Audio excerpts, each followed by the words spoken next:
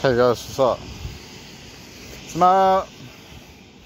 And I don't really feel like, you know, what's what was beautiful about my last video is that I was I was straight up baked, right? I was I was toking on some joints. And uh, I was just on one though, but 0.5, you know, 0.5 grams. Used to get me like fairly high. The point I had smoked three, but that's back in the day when I was a fiend, when I was a pot addict, when I made so many regrettable decisions, you know, because of pot. But there's one that's always sets mind that I'd rather not speak upon because it's kind of personal and private. But it really saddens me in retrospect. Um, it was a crime, let's just say that. But it didn't really hurt anyone, but it was a crime. I'll just leave it at that. I feel like taking a walk elsewhere. It's just the sounds of the cars are beautiful. They're entrancing at first, and then they turn out to be overly loud. Um, you know, I've been dealing with uh, the most cynical kind. I'm convinced more cynical and more um, obsessed than any of humanity could be. Mine is very few, the, the particularly demented ones, the psychopathic ones. It could be that bad, but uh, you know, I'm talking about schizophrenia, right? Then you're noticing how. Talking about schizo, then you're noticing how I'm kind of associating the voice conundrum to real aspects of personalities. And then you kind of ask yourself, like, why is that? Well, you know, if you watch any of my other videos, you'll see a few things, probably, maybe, but you don't need to, but a few things have been blatantly clear to me, and one of that, one of them is that for the last two and a half years, I've been on an overblown yet still I guess, logically inclined, I guess, following the world row. I've been on a mission. I guess the best I'd put it would be within the confines and realm of the expectations of my life. Because I believe that's kind of how our lives run, right?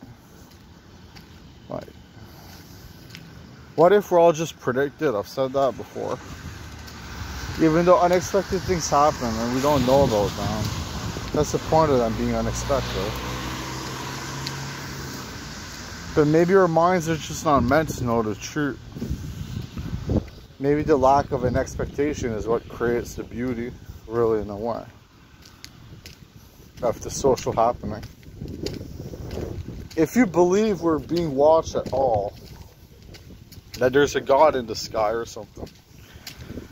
Or a vigilante or a, even a this isn't nearly as common but even a wicked evil creature or just you know a hero.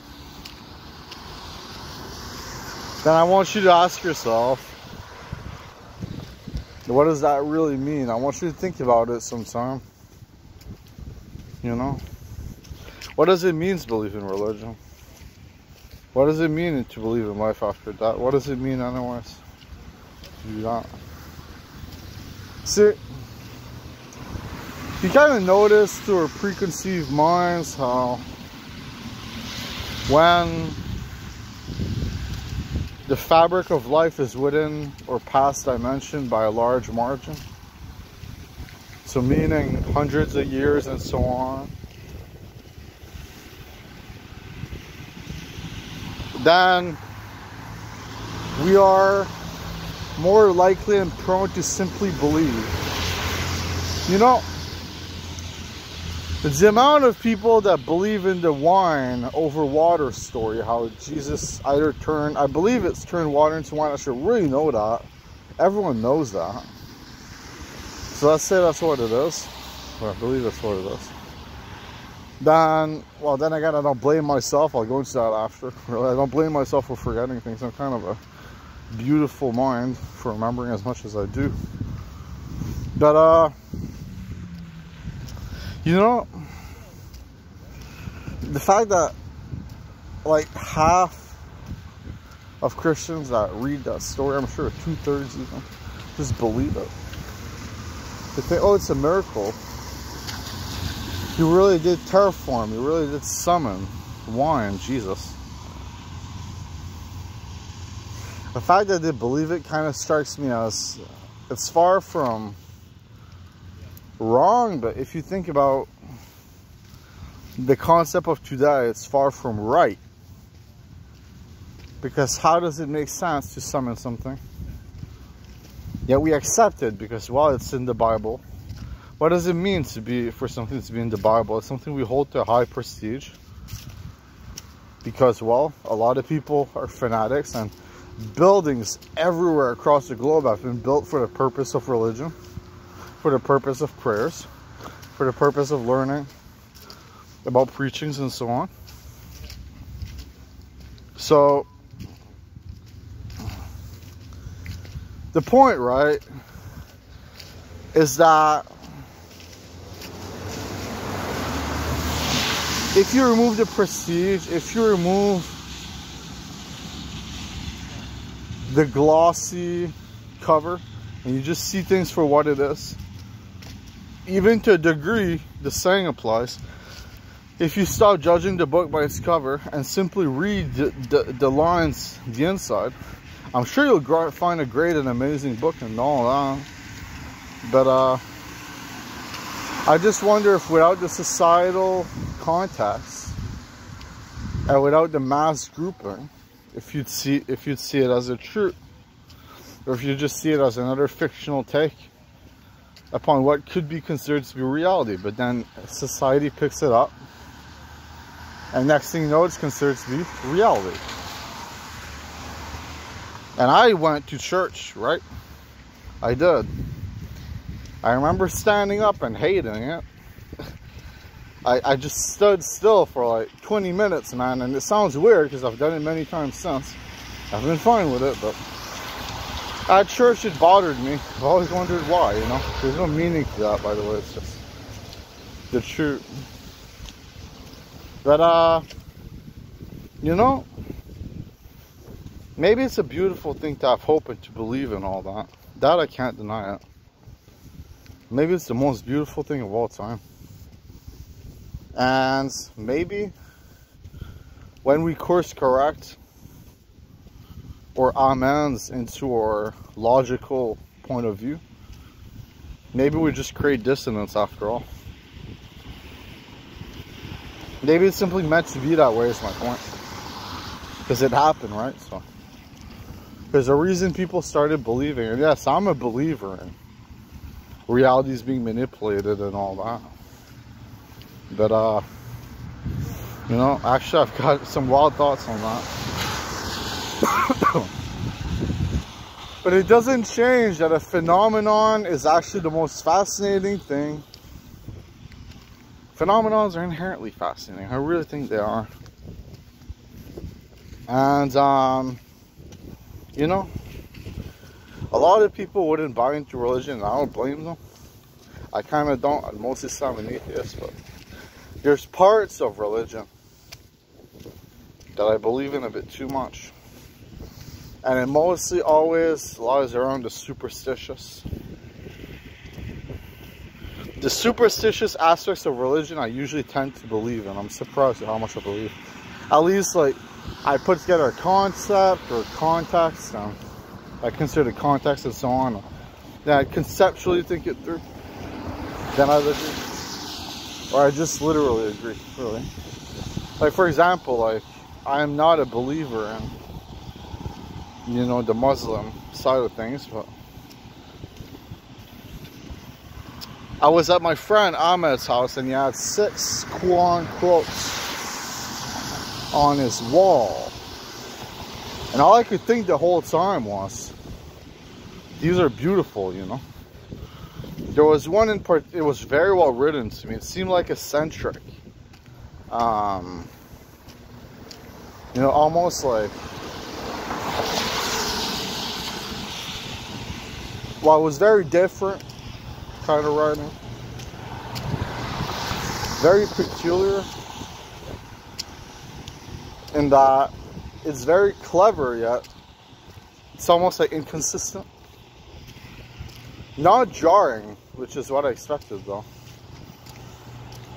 And uh, you know, the quotes were beautiful, but there's one that spoke to me, and one of the conceptualities that I quote was that you have to trust in the higher dimension. You have to trust in the God that you seek in order to get your rite of passage into the heaven that he proclaims and knows and sees.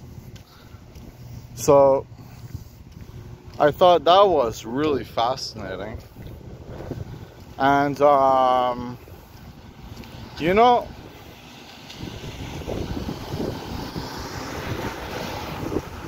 maybe the point behind religion is actually really beautiful. But maybe the fact that it started so much conflict because people believe in it too much. I believe that it's only normal to have a shade of doubt, to have some doubt upon anything you even especially what you care for, you know. Too many things in my life change too quickly for me to not hold doubt upon things. And, um, you know, the truth is, is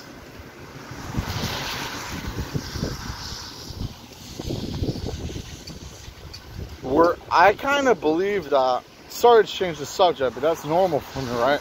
I'm quick with that. so again, I don't deal with such a good memory. I kind of believe that we're living logical lives. I'm the sole one, I believe it's peeled into the illogical. But then again, there's so much wrong and just straight up odd and different about some parts of reality to civilized communities. And every community is technically civilized. I mean, you can't judge a whole community that way, but I really want you to think about it. Like, why are some countries more fortunate than others, even though it makes sense? Because, while the financial side of things speaks very loudly and boldly there. But if you, you really think about it, it's a bit odd considering how history, you'd hope that history would have had so much of our back, so much more you'd hope a more consistent upbringing would have taken shape instead of a, an inconsistent clusterfuck for so much of the world. I mean, you know, we refer to the third world. That's actually a third of the world and it's poor as shit. And only the very rich and powerful or the militia or so on are the ones who make it and you start to think like we don't refer particularly to ourselves as living through dystopian times but are we kind of living through dystopian times after all i mean we're a very prosperous nation canada i think we're a great place but you know for every canada there's an africa for every canada there's well china is complicated i'd say china there's places that just let you speak your mind and be yourself. In that sense, I like the United States a bit more. You know, just because it doesn't fight against free speech through its law as much. Even I think the United States can be abrasive as an idea. I mean, they kind of think, you know, like, okay, fine, we're all allowed to think it. And you know what? It's a beautiful thought to think that your nation is the number one on earth. Fine, it's true. But they can, sometimes some fans of politics get a bit arrogant with it, you know. It is true, it's a beautiful thing. And hell, if it's working out for you, it's working out for you. I mean, every place has opportunities. And uh, yeah, I think you are really beautiful, if you ask me, for watching. So I'm just gonna go. I think. Um, thank you. and for what, God, for what it's worth, as the last statement, yeah. Um, let's just say this. I believe I woke inevitabilities, you know, on my earth. Maybe watch the last video if this confuses you too much, but uh, I know you probably won't, but it's fine. You watch this one, you're a beautiful legend for it. I believe I beyond awoke illogicalities. I, be, I, I, I believe I made them take action against me, you know. If you think about it, anyone can attain importance. But I don't even see it as important. In fact, I wish that had never fucking happened to me. But uh, I believe that through our minds, we have access to different fabrics of reality, not just the physical state we're in. We have access to the metaphysical, for example, which is an imagined physical state. And uh, you kind of have like subconscious minds that think somewhat for themselves, mostly for themselves but mostly just thinking the same way to just have a differentiating thought pattern and so on. I believe that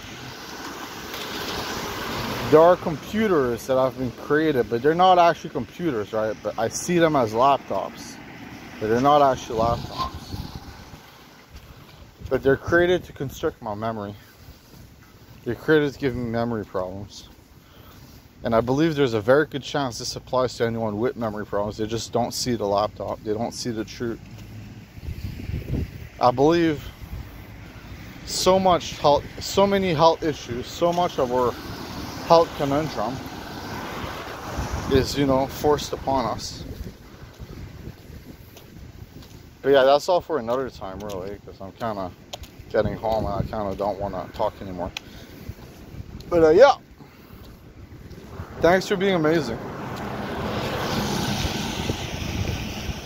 See you love, see you beautiful, see you amazing, see you kind, stranger. And for what it's worth, maybe we're all gonna be balling someday. Know, I hope so. I hope so. Because I, I see us balling quite significantly. What do I mean by that?